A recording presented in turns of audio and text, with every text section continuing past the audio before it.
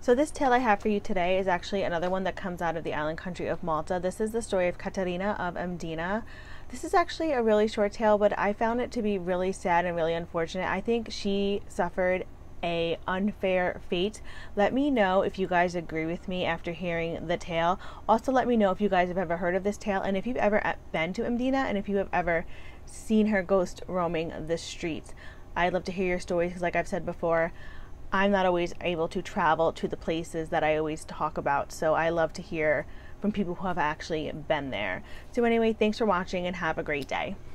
One evening, a beautiful girl named Katarina, who lived in this village, was attacked by a knight on a dark street. When she fought for her life, she accidentally killed the knight. The court sentenced her to death by beheading, but not before allowing her to marry her one true love minutes before her punishment was to be exacted.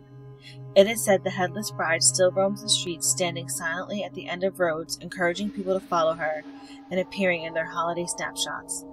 It's also said that she appears to widowers and heartbroken men, telling them to give up on love and join her in death.